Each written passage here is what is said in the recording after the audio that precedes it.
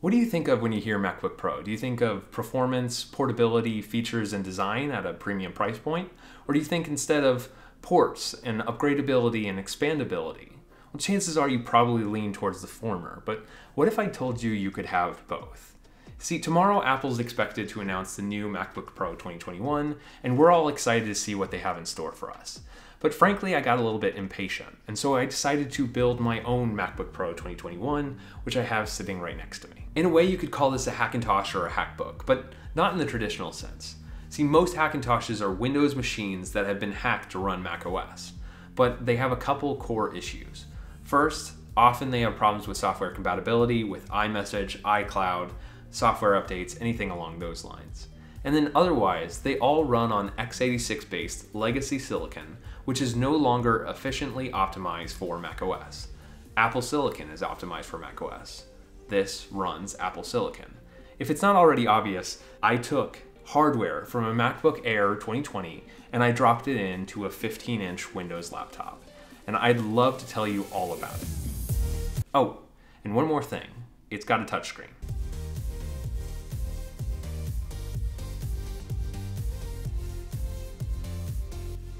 In today's video, I'll be giving a full walkthrough on the features and experience of using this machine, with a quick preview on the process of building it. But frankly, the whole process of building it was too long to fit into a single video, and so I'll be following up later in the week with a full deep dive on how this Frankenstein's monster came to be as it is. Even in 2012 when it was announced, the Latitude E5530 was not a machine to turn any heads. It was a big, bulky, business style machine, but it did have an aluminum top panel, which comes in handy now for protecting all the very, very delicate internals. I wouldn't ever call this device sexy, but it's functional, which is important to me. I wanted a machine, not only a latitude, because I like latitudes, but also a machine with a lot of internal space that could house all of the components that I needed and more. Now, granted, unfortunately, I had to Dremel out a very, very large portion of the internals in order to fit everything I built,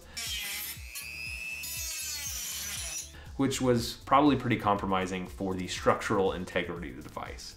Needless to say, I don't want Linus to do a flex test on this keyboard deck, but it's okay for taking around the house.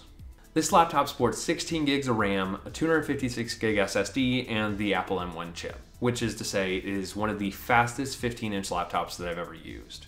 And it is also one of the quietest 15 inch laptops that I've ever used. The performance in this is incredible. It would run circles around the original Core i3 3210M processor that sat inside this device. Now, granted, I did give up the upgradability of that chip, which hypothetically could have doubled its performance back in 2012, but that is a small sacrifice for having Apple Silicon. The display here is unfortunately going to be one of the bigger steps down because we no longer have Retina and instead have this. I'm not sure if this is still flickering on camera, but if it is, I will turn it back around in a second.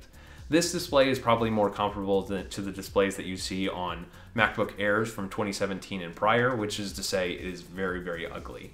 It is 1080p, supposedly, but I, I couldn't tell, frankly. The one feature that is the saving grace is the fact that it is a touchscreen.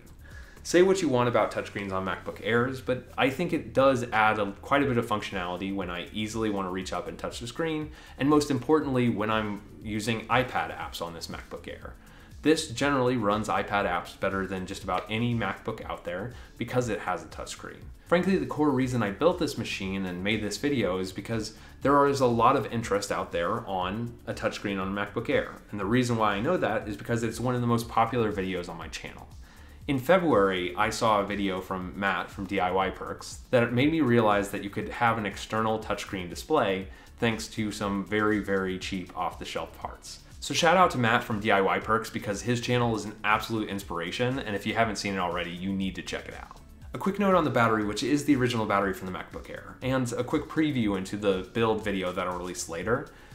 I didn't think initially that I was going to be able to fit the MacBook battery inside this machine because frankly the way that it's configured relative to the motherboard takes up a lot of internal space. So I nearly gave up and then I remembered the first season of Halt and Catch Fire where they're facing a very similar issue in building a computer. And ironically, they fold it over itself and work in a third dimension in order to fit it into the, the chassis. Similarly, I realized that after looking at the battery again, I could put the battery underneath the motherboard, use it as a tray for the motherboard itself, and then position them very suitably in this machine with a lot of internal space remaining. So thanks to Halt and Catch Fire for that one. In terms of battery life, this probably has comparable battery life to the original MacBook Air, with the exception that the display might consume a different amount of power and the docking station that runs off the motherboard probably saps a lot of energy. But otherwise, they're probably pretty comparable. Frankly, unplugging it from the wall and carrying it around my house was one of the most scary but fulfilling experiences of this entire process. In terms of software and connectivity, this is all original hardware, so there's no issues with upgrading to the latest version of macOS, any compatibility with AirDrop or any other feature from the MacBook. It's just a MacBook, which is awesome. Let's talk about the keyboard, which was one of the most difficult steps of this entire process. This full 104 key, number pad included, customizable keyboard is now connected directly to the MacBook via USB. That was not an easy endeavor, and I want to thank Frank Adams on Instructables for sharing a method on how to do this. I had to learn how to solder, and I don't do it very well, in order to get this working, and I was so glad when it finally did. It's still a little bit spotty, but having a full functional keyboard with very tactile responsive keys and it being fully customizable is really, really cool. Laptop keyboards are one of those things that hasn't improved greatly in the last 10 years in terms of a user experience because we've been focused so much on making the keyboards thinner and smaller. But frankly, I prefer the experience using this keyboard over the traditional MacBook keyboard. Finally, let's get to one of the most important parts of this build in serviceability and upgradability. This is a 100% user serviceable device, save for the motherboard. Now, granted, I wouldn't hand this to a random friend who wasn't tech savvy and ask them to upgrade the storage, but thankfully, I have no issues doing so myself. The motherboard, unfortunately, anything soldered to the motherboard is not upgradable, but I can replace a motherboard if something goes wrong. And every other part of the machine is com completely replaceable. Nearly 10 years later, many online retailers still sell parts for the Latitude E5530, which means that if I damage any part of this machine or this chassis, I can easily replace it pretty cheap. And the good news is all the other parts are very, very easy to remove and replace, which is to say that they're all taped in here. A 4K or high refresh rate display, I can add it. A upgrade, upgraded SSD with a terabyte of storage, I can add it just about anything you can think of, as long as it's not directly on the motherboard, I can do, which is a great feature.